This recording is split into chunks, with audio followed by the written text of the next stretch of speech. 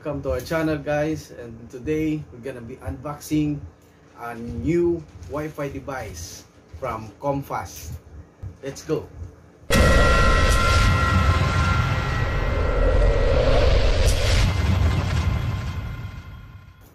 One Comfast router please. This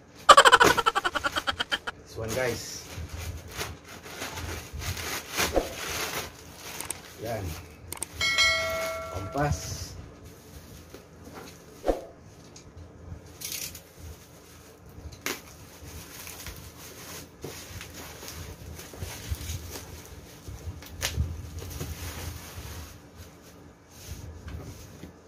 One guys is a Wi-Fi router from Comfast. This is uh, cheaper than the Tenda router and 2.4 lang siya. 2.4 GHz lang po siya. Meron siyang tatlong 2.4 GHz na antena. 300 Mbps yung speed. It is a router wireless B, G, and N guys. Ibig sabihin, B and G yung nagbabounce na signal and then yung N yung nag nagpapass through sa wall na signal. The model is CFWR613N from Compass uh, Shenzhen, Shenzhen, China. Yes, basahin natin yung sa likod guys, yung model niya. Tsaka yung yung yung Wi-Fi uh, channel niya, yung megahertz niya is 2.4. And then uh, yan guys, yung iba pang mga details, 300 Mbps yung speed niya. Tsaka yung iba, Chinese na. Yan. So, that's all guys. Ito yung box niya. Yan. Yan. Ayan lang yung box niya guys. Medyo okay yung box niya. Makapal, matibay. Box naman siya. Box niya guys. Okay. Right. Start tayo unbox.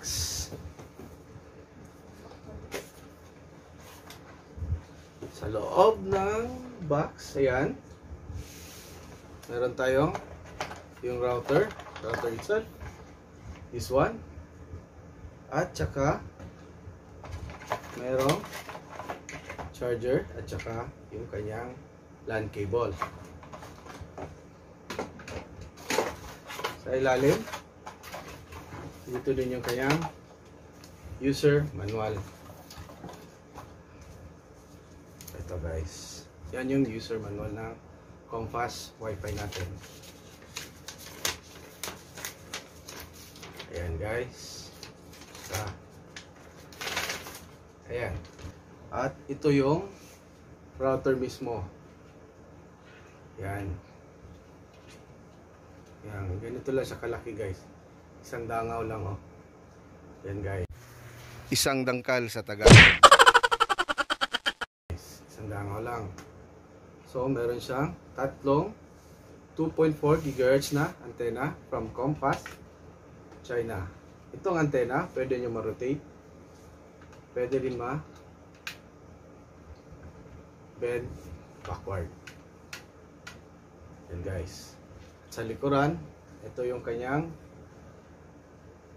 uh, login na default IP is 192.168.0.1.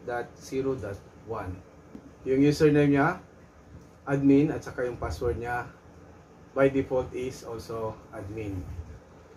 At yan sa likurang bahagi niya guys, 100 Mbps yung speed ng kanyang LAN port or Ethernet port niya.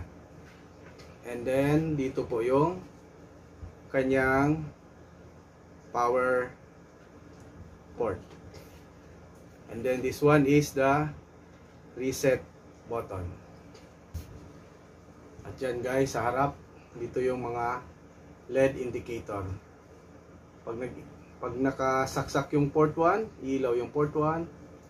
So on, port 2, port 3, and port 4. Ito yung kanyang power adapter guys. Ito yung power adapter niya. Uh, 5 volts, 1 ampere. tsaka yung kanyang LAN cable. So, more than more than 1 meter. More than 1 meter po siya. More than 1 meter yung LAN cable nila. Itong Compass Wi-Fi router pwede rin po siyang repeater in the same time router. Para ma-extend yung inyong Wi-Fi range sa bahay mapalakas yung kanyang internet ah, range. Mas malawak yung inyong ah, Wi-Fi range sa bahay Oh! Sobrang kang seryoso! Huwag niyo na intindihin! Mga sinasabi ko! Ang ina mo. Guys, ito yung router. Tsaka yung port sa likod. Ah, ito, sasaksak lang natin dito. Diyan. Yung galing sa PLDT or any internet provider ninyo, ito galing sa modem ng internet nyo. Pupunta dito sa port number 1. And then, yung kanyang adapter. And then, ito guys, yung power. Saksak nyo lang sa power port at i-plug nyo. And then, after mga 1 minute, magsisync ito. At saka, okay na yung router nyo after na config nyo na yung program niya sa loob. Okay, so let's proceed to setting up the program of this Wi-Fi router. So, so guys, let's proceed to the setup configuration of the Compass router. Yan. Open mo yung browser mo. Google Chrome. Type mo yung default IP ng router. 192.168.0.1 Yan. Tsaka, lagay ka ng password mo. Sample. 1, 2, 3, 4, 5, 6, 7, 8. Yan. 1, 2, 3, 4, 5, 6, 7, 8. Yan. Sample password lang yan. Try natin. And then yan. Nakakonect ka sa broadband mo. Itong setup natin ngayon. Nakakonect lang tayo sa laptop. And then, ito pwede mong next lang. Ah, ah, hindi. Ito, pili ka ng DHCP. Then next. Then yung Wi-Fi password mo. Sample lang, lagyan natin ng 1, 2, 3, 4, 5, 6, 7, 8.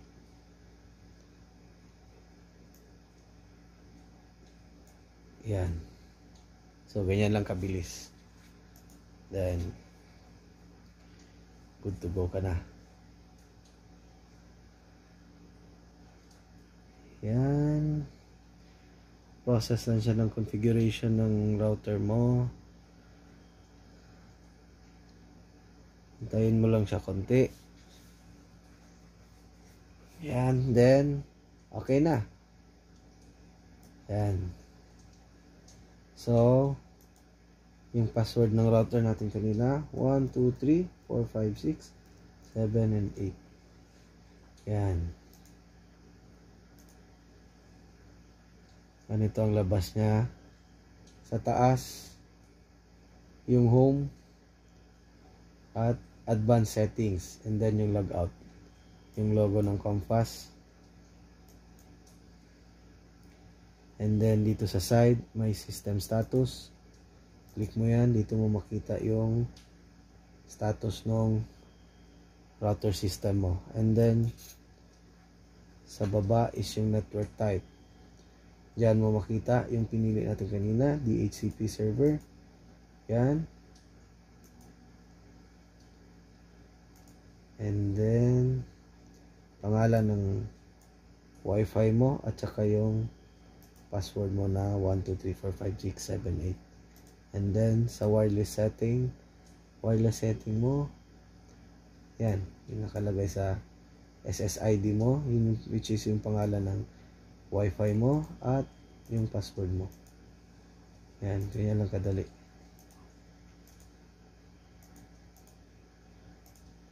So, dito sa password natin, sample ito, pwede mong palitan yan, pwede mong ilagay dyan, yung pangalan ng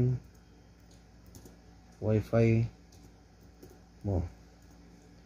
Yan, sample sa atin, yan. Bones Vlog. Tapos, sa password naman, kailangan alphanumeric. Ibig sabihin nun, meron kang letters at saka meron kang numbers. Sample, A, B, C, D, 1, 2, 3, 4. Yan. Yan. Save mo. And then, pag natapos na siyang mag-save, mga about 30 seconds, pag nagre-reset yung router natin at nagsisave. Pag natapos na yung process, pwede mo na siyang magamit kagad. Ayan, successful kagad. So, pwede mo na magamit kagad yung wifi nyo. So, ulitin natin. Pasok tayo. 192.168.0.1 yan. Tapos, yung password natin, 1, 2, 3, 4, 5, 6, 7, 8. Kasi nilagyan na yung password kanina. Ayan. So, nakapasok na tayo. Yan lang yung simple na interface ng firmware mo ng Compass router through PC sa browser mo. Iba din yung lalabas doon kung sa cellphone ka lang. And then, sa advance naman, yan, dyan mas nakita mo yung iba't ibang options pa. Unlike dun sa cellphone, na try ko, hindi mo makita itong advanced settings. Hmm. And then, yan, maraming menu. Meron siyang network uh, parameters, merong wireless settings, advanced user, advanced users, device management, more settings, and then setup wizard. Yung setup wizard, yun yung pag-start mo, yan, yun na yung step by step na na i-fill up mo hanggang sa mas uh, parang 1 2 3 4 step para isang isang daan lang tapos na yung setting mo sa router mo ito naman, dito tayo sa network parameters. Diyan. Diyan, makikita mo yung one settings mo. One settings mo kung ano yung nakalagay sa internet provider router mo. Ito, dito yon Lagay mo yan siya dyan. Pero since that This is uh, extension uh, Wi-Fi natin, extension natin. So DHCP lang yung nakalagay. Hindi siya yung main na uh, router natin ng ating uh, internet. And then sa local net Ayan. Ayan, wala ka nalalagay dyan. Automatic na yan. Then sa local network, ayan, IP address. Ito yung default IP address ng router mo. Pwede mo siyang palitan. Sample yung internet router mo. Usually, ito din yung default na IP address 192.168.0.1. So, pwede mo yung palitan ng 192.168.1.1 para hindi sila mag-conflict.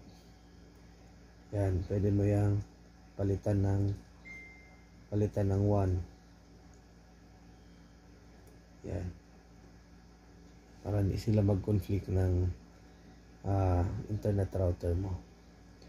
And then wag mo na, subnet mask uh, wag mo na galawin yan. And blank blank lang yan. So good to go ka na.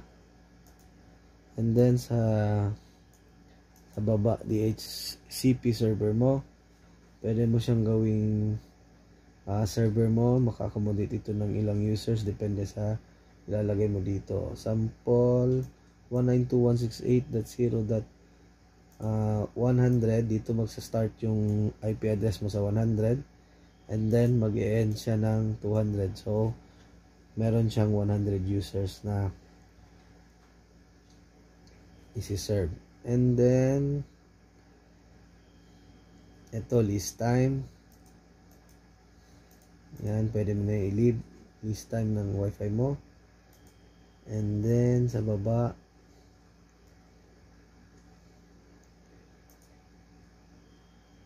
Yan. Yung mga info. Ito, pwede mo na to i-leave na blank.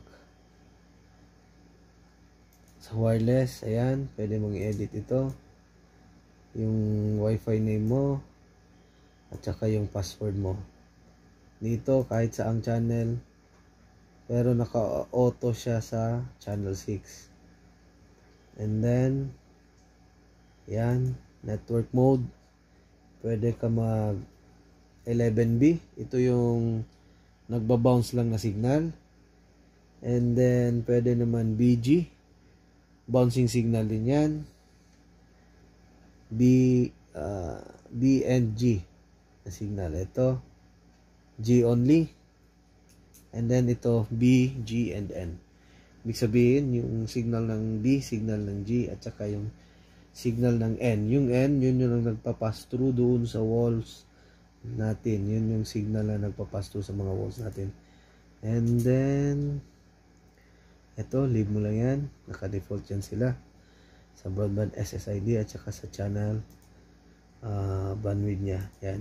Hayaan nyo lang yan. Okay, codes na yan. Dito sa advanced user. Up. Ah, sandali. Dito sa wireless settings. Baba tayo sa advanced. At yan. Yan yung mga nakalagay under sa advanced menu.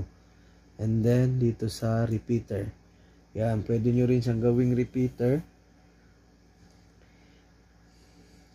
Scan nyo yung mga wifi dyan. Sample, ito yung akin. Yan. Yan, tapos pasok ko yung wifi ko. And then, tapos nun, okay na. Pwede na siya maging wifi repeater. Sample, lagay natin yung, yung ating password.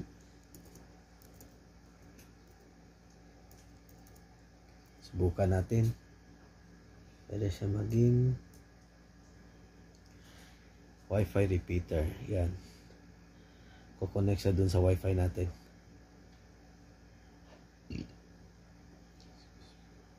USB po. Yan, connect siya doon. Then after nyan, nagiging repeater na yung router nyo. Yan. Tapos na siya nag-reset.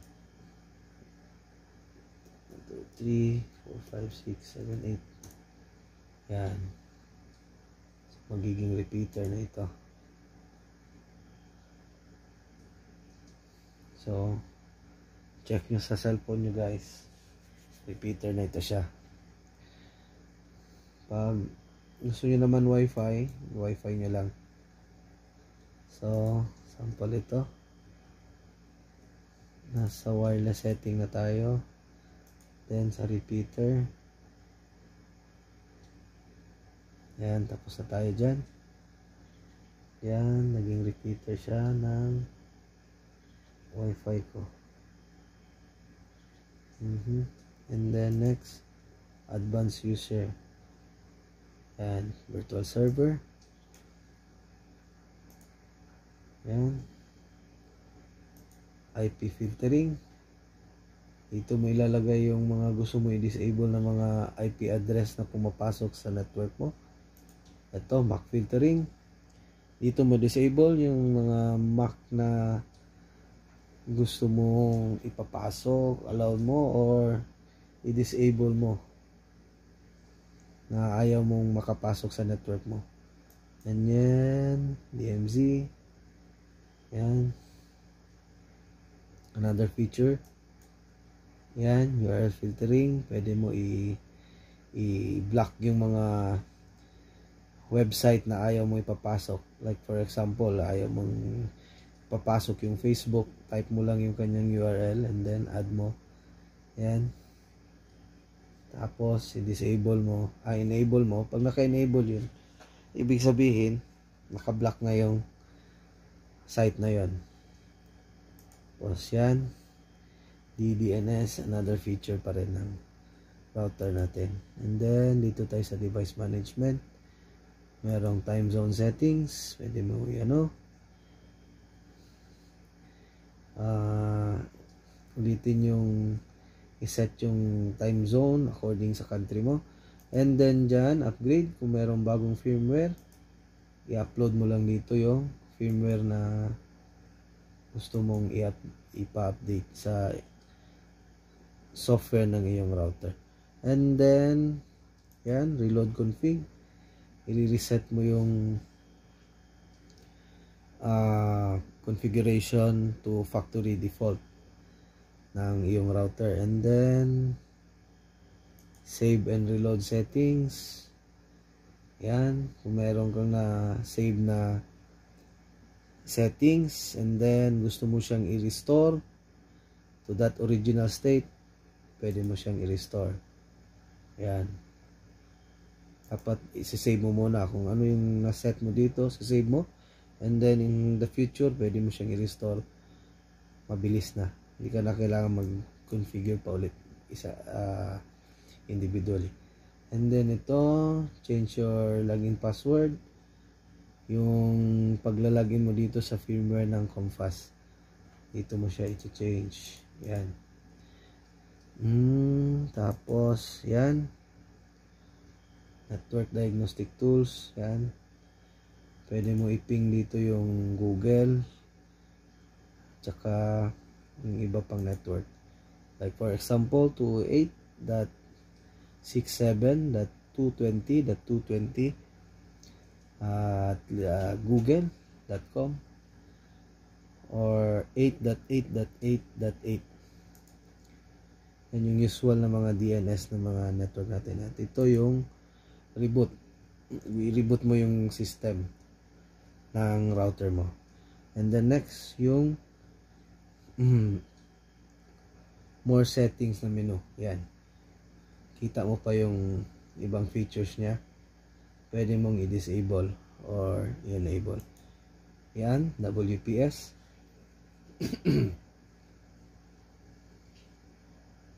feature din niya. Pwede ka mag WPS dito. And then yung setup wizard. Ayan yung 1, 2, 3 step to set up your Comfast router yan madali lang so easy lang so log out gusto mo na mag log out sa software ng iyong sa program ng iyong router Comfast router.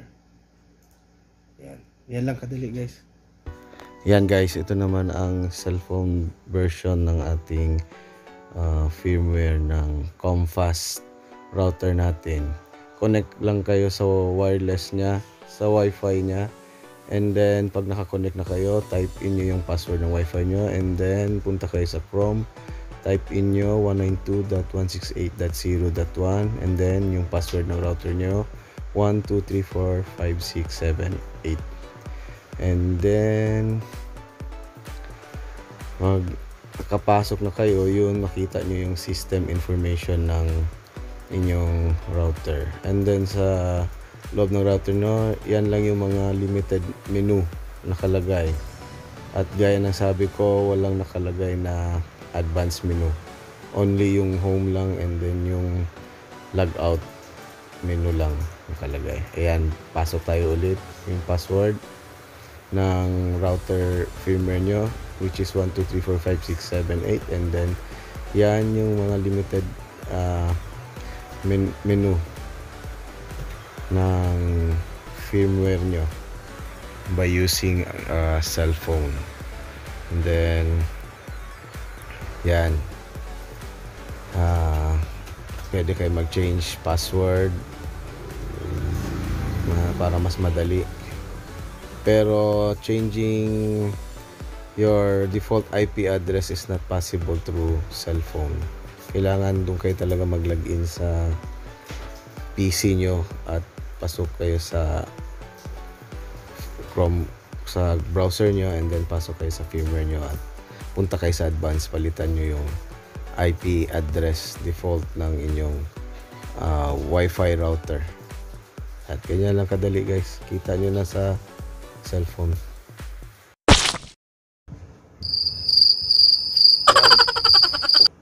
Today guys, mag-unbox tayo ng Compass Wi-Fi router. At ito yun guys, kita ko sa inyo. Yan.